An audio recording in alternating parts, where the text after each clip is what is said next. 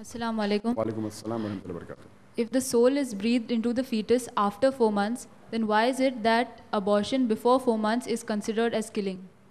Sister has the question that if the soul is breathed into the fetus at four months, then why is killing before four months counted as haram?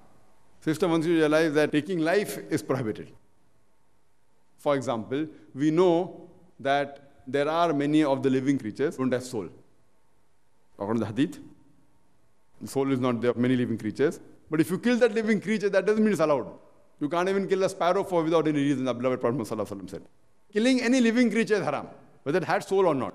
If killing a creature with a soul carries a bigger sin, that's a different question altogether.